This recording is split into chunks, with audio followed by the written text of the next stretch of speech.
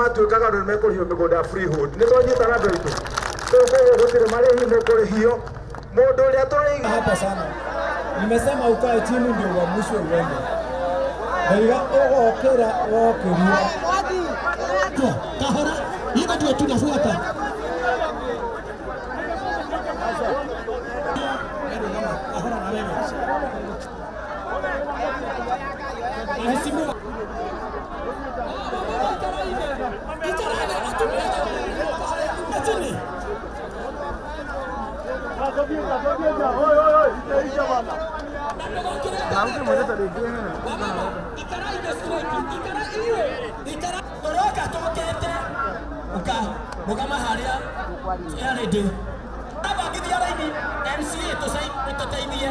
Kau bakar ini, bakar ini, jangan diukar ini, jangan.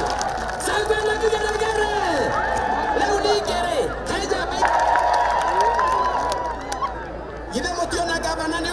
nä å rä a ekire wega. No ng'ombe ũrĩmaga kana maũndũ makũu no kũhanda waru gũtirĩ mũndũ ũrĩ kũrĩhagia nĩ twanyi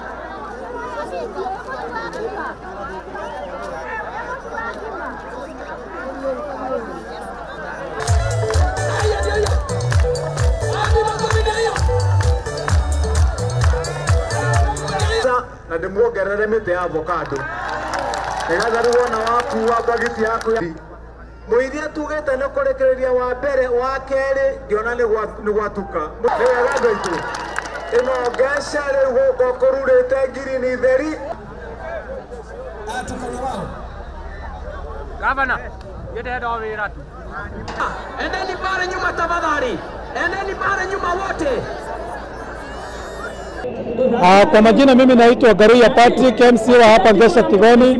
Leo ni siku ya kufana sana kwa sababu tumekusanya zaidi ya wakulima elfu sita kutoka hii wodi yetu ya Ngesha Tigoni na tunawapatia fertilizer ya kupanda na mahindi ambayo imetiwa sahihi na wale wataalamu wa kilimo na kila, kila mkulima wa Ngesha Tigoni ataenda nyumbani na mfuko wa fertilizer na mfuko wa mahidi ya kupanda, na hii ni njia moja ya kuinua kilimo katika Kiambu.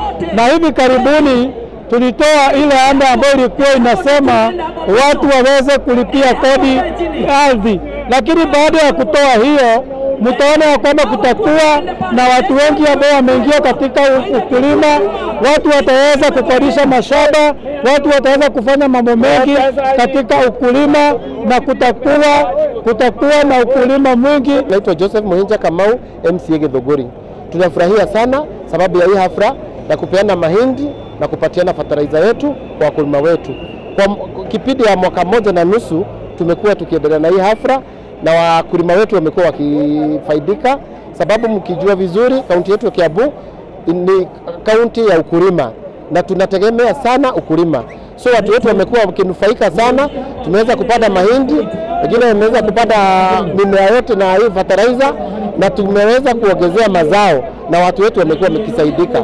Kwa sasa tumeweza kufukuza jaa na watu wako na mazao na tumekuwa tukisaidia watu wetu, na ningeomba tuendelee na hii hafla na watu wetu wazidi kusaidika, sababu tunaona at least saa hizi hakuna njaa Kiambu County, na tunajua tutaendelea hivyo mpaka itafikia mahali tukuwe tunauzia kaunti zingine chakula.